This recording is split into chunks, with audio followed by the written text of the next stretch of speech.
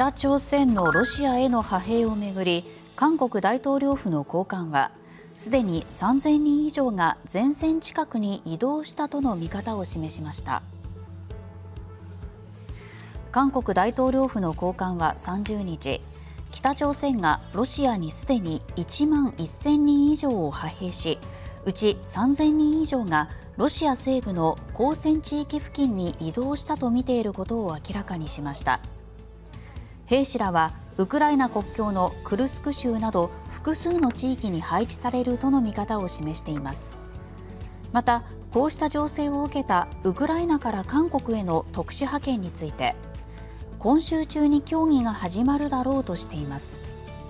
派遣されれば兵器の供与を含めた対応策のほか捕虜となった北朝鮮兵士の扱いも議論する方針だということです。